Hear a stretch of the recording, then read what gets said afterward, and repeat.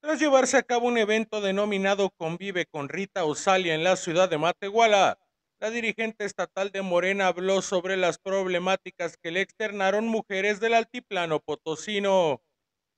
Pues están adolecidos por el, por el agua, ¿verdad? Es un tema muy profundo y pues yo, yo escuché este, a ellos, aman mucho al presidente y yo lo veo, lo palpo, lo siento y quieren que sí llegue la transformación a San Luis.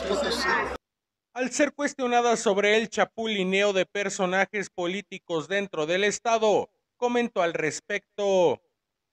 Y respetos para las personas. Claro que sí duele que se vayan presidentes municipales. A nosotros tres presidentes municipales, este, eh, de cuatro que, que ganaron la elección por Morena, se fueron a otro partido y asimismo, si se quieren ir, que se vayan y si se quieren venir, que son bienvenidos también.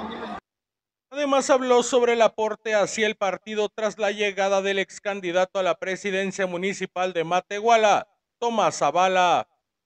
Es que el trabajo que ellos ya tienen este, este, caminado, ¿verdad? Ese, ese caminar de ellos es lo que nos permite, este, por medio de otros amigos, conocerle. Su esposa es simpática, él es muy trabajador y eso nos da la posibilidad de invitarlo a sumarse al proyecto del presidente Andrés Manuel López Obrador.